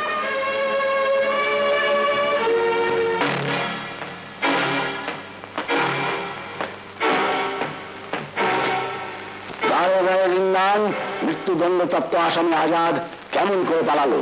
পালায়নি তো জাহাপনা। উজির আজমের আদেশে আজাদকে মুক্ত করে দিয়েছি। আমার আদেশে? কি বলছো দারোগা জিন্দাল? আমি ঠিকই বলছি, হুজুর। এত তাড়াতাড়ি তোমার ভুল হবার কথা নয়। এ তো আপনারই আদেশ নামা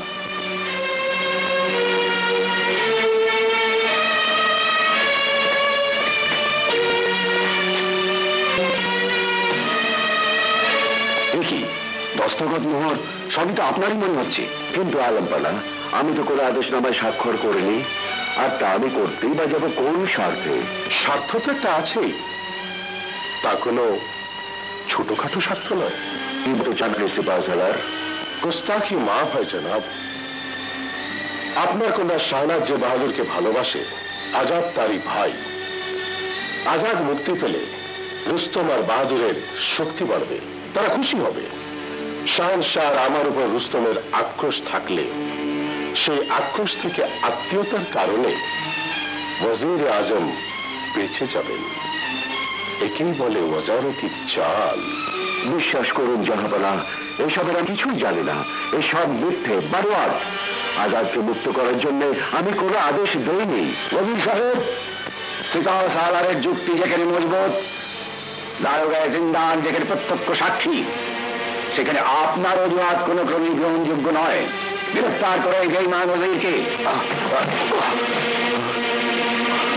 নিয়ে যাও বৃন্দাবনে নিক্ষেপ করো যাব না বিশ্বাস করুন আমি কোনো আদেশ দেইনি ওর পেছনে নিশ্চয়ই কোনো ষড়যন্ত্র রয়েছে নিয়ে যাও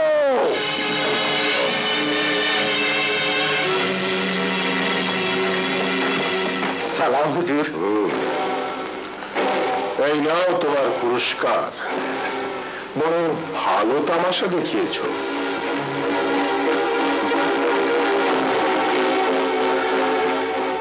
একেই বলে দাবার চাল।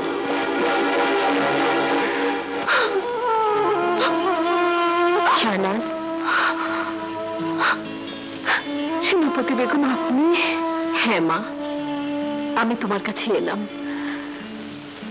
কেঁদে কেঁদে চোখের পানি নিঃশেষ করে ফেলল কোনো লাভ হবে না, মা। কিন্তু কেন? আমার বাবা তো কোনো অন্যায় করেনি। তবে কি কারণে তাকে কহিত করা হলো? এর কারণ আর কেউ না জানলেও আমি জানি। গত পঁচিশটি বছর ধরে এই মহলে যে চক্রান্ত চলছে তার নীরব সাক্ষী আমি আর এই হীন ষড়যন্ত্রের নায়ক আমারই স্বামী সেনাপতি কাশিম বেগ। সেনাপতি বেগম? চোখের পানি মুছে ফেল মা। আর মন ছেড়ে পালিয়ে যা। কারণ তোর বাবাকে বন্দি করেছে তোকে দুর্বল করার জন্য। যাতে তুই মুরাদকে বিয়ে করতে রাজি হোস। তুই না থাকলে তোর বাবাকে অকারণে চিন্তানি ধরে রাখবে না মৃত্যুদণ্ডও দেবে না। আর সমানষ্ট করিস না, মা। চলে যা। নইলে আমি যা বললাম তাই হবে। মুরাদ তোকে বিয়েতে সম্মতি দিতে বাধ্য করবে। যা, পালিয়ে যা, মা। পালিয়ে যা।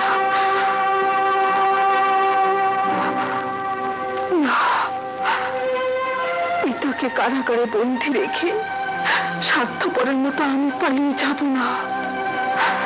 মুরাদ আমাকে ভালোবাসে বিয়ে করতে চায়। ওর এই দুর্বলতার সুযোগে মুরাদের কাছে গিয়ে আমাকে ছলনার আশ্রয় নিতে হবে। কি বলছো তুমি? এত গভীর ষড়যন্ত্র। মুরাদ আসল শাহজাদা নয় তোমার পুত্র। এ কথা আমাকে এতদিন কেন বলনি? কেন গোপন করেছিলে? স্বামীর শত অপরাধ স্ত্রী আঁচলে ঢেকে রাখতে চায়। আমিও তাই করেছি, আলম্পনা। কিন্তু তার পাপের পাহাড় এত বিরাট আকার ধারণ করেছে যা আজ পুরো প্রাসাদকে গ্রাস করতে চায়। তাই আর মুখ বুঝে থাকতে পারলাম না। আমাকে আপনি মার্জনা করুন, আলম্পনা?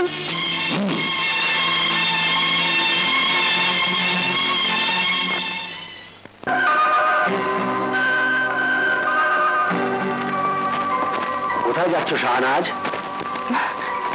মুরাদের কাছে। আমি ওর কাছেই যাচ্ছি। এসো আমার সঙ্গে। দাঁড়ান। আপনাকে আর কষ্ট করে শাহজাদা হুজুরের কাছে যেতে হবে না।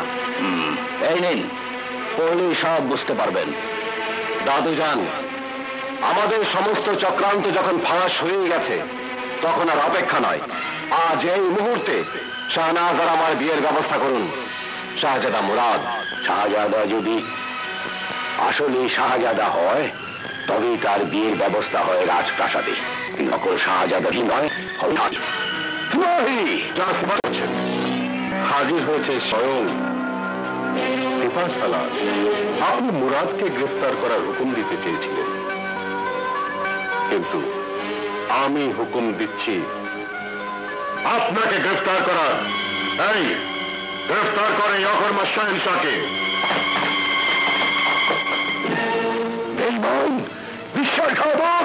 আরে দেখছি আমার সমস্ত গুণাবলীর কথাই জানেন।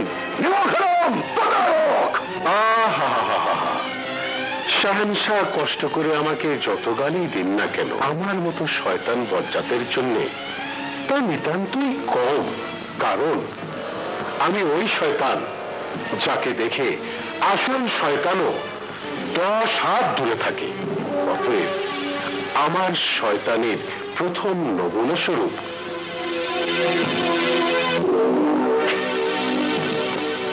এই ওয়াসিয়াত নামায় দস্তখত করে দিন। তবেই আমার এত দিনের সিংহাসনে বসবার স্বাদ পূর্ণ হবে। কখনো না। জান থাকতে তোর মতো লম্পটের কাছে মাথা নত করার মতো সাহেংসা আমি তাহলে তো আপনার জানটা নিয়েই সিংহাসনে বসতে হয়। কবির খা এক রাজাকে মেরেই আরেক রাজার সিংহাসনের অধিকারী হয়। যুগ যুগ ধরে এই নিয়মই চলে আসছে। অতএব যোগ্য সহকারীর মতো শাহেনশাহের প্রাণনাশের দায়িত্বটা তুমি পালন করো। সেনাপতি কাসেম বেগ শাহজাদা সেলিমের পিতার যান কোন খাঁচা বন্দি করা পাখির যান নয় যে নিশানা লাগিয়ে খতম করা যায়। আব্বা হুজুরের গায়ে ফুলের টোকা দেবার আগে এই সিংহের মোকাবেলা কর।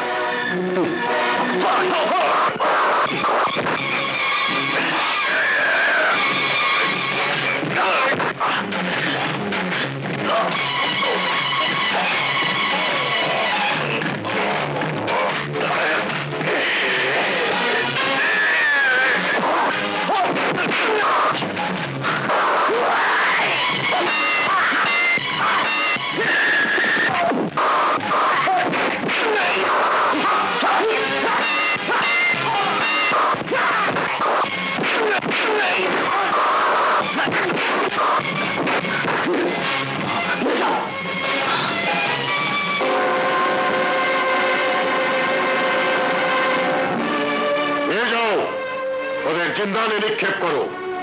উজির জাতিকে নজরবন্দি করে রাখো।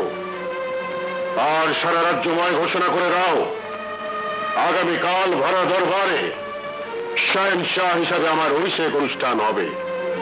সেই সঙ্গে শাহজাদা মুরাদের সাথে উজির জাদি শাহনাজের শাদি মোবারক। হাজিরানা দরবার এই সিংহাসনে বসবার একমাত্র অধিকার তারই, যে প্রজা সাধারণের সুখ, শান্তি নিশ্চিত করার ক্ষমতা রাখে। কিন্তু পুত্র সুখে কাতর, আমাদের ভূতপূর্ব সাহসা সেই ক্ষমতা আজ আর নেই।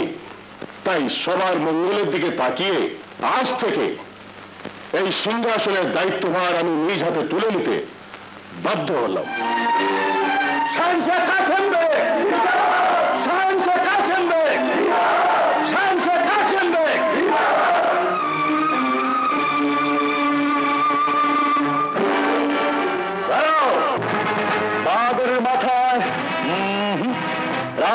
মুকুট নয়। গলায় জুতোর মালা শোভা পায়। আর সেই মালা পরাবো।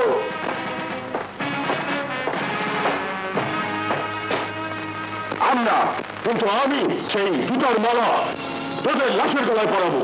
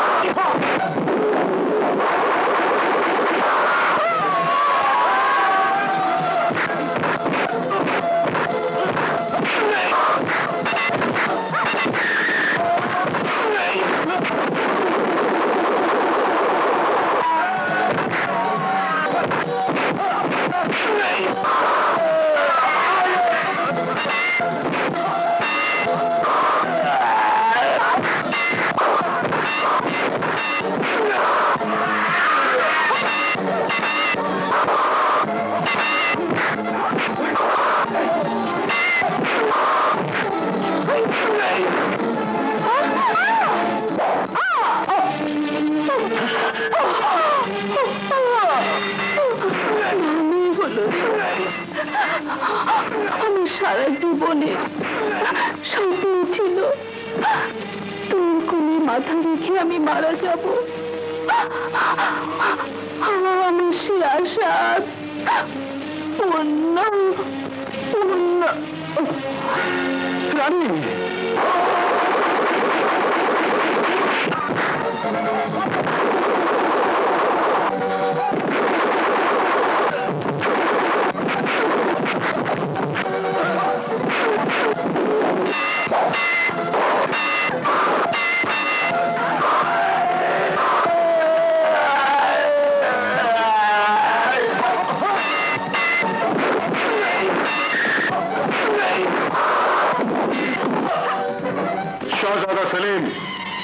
তোমার পুত্র এসেছে, তোমাদের দুজনকে মুক্ত করতে। কিন্তু আমি এসেছি তোমাদের দুজনকে চিরদিনের জন্য এই পৃথিবী থেকে মুক্ত করে দিতে। দারোগা জিন্দান বাদশাহ আর শাহজাদা সেলিমকে জিন্দিগি থেকে আজাদ করে দাও।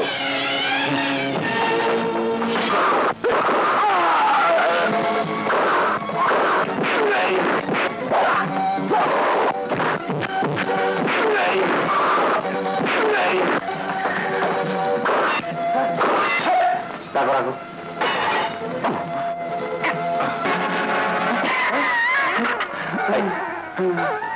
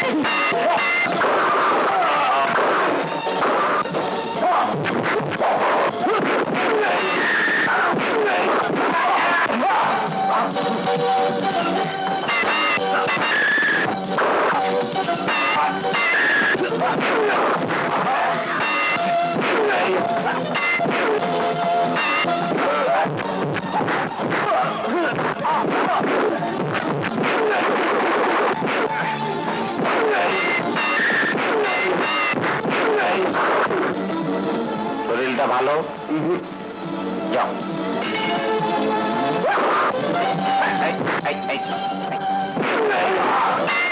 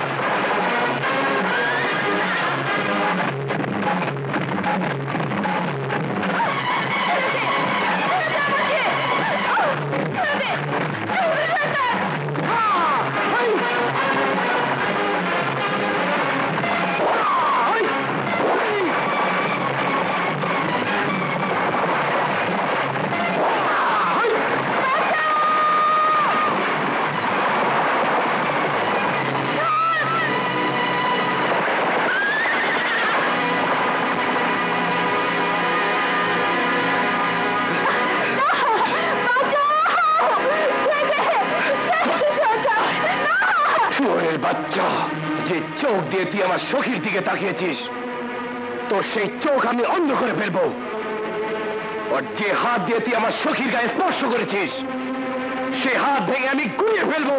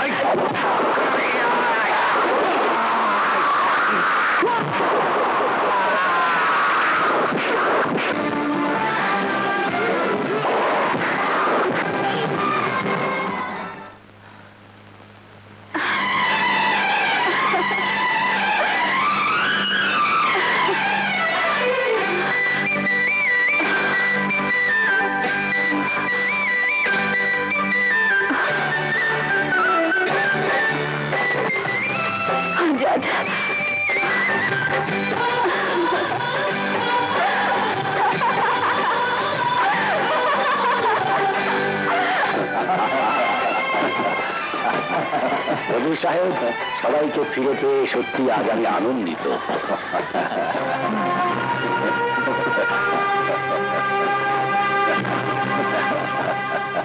আজাদ!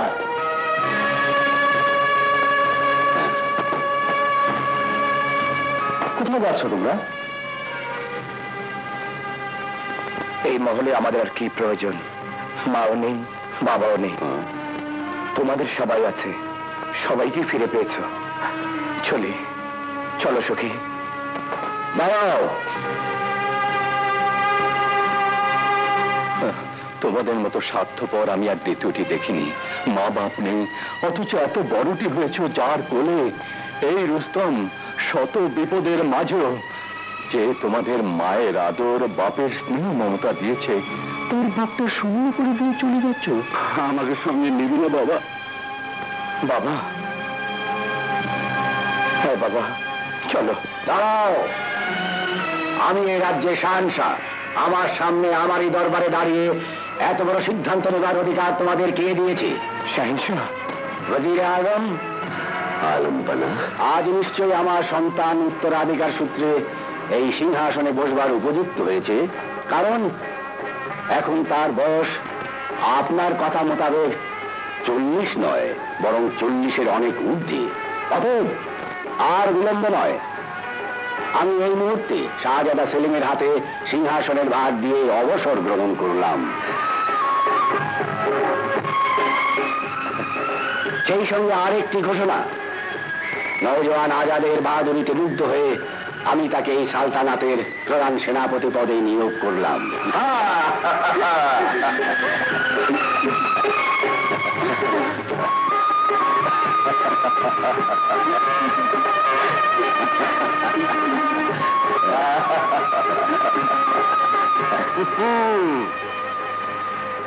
আজাদ ভাই যখন সেনাপতির পদ পেয়েছে, তখন আমি বাদশার প্রধান দেহরক্ষী হিসাবে আমি চাকরিটা না পেলেও অন্তত বাহাদুর ভাইয়ের চামচার চাকরিটা আমার খায় কোন শালায়।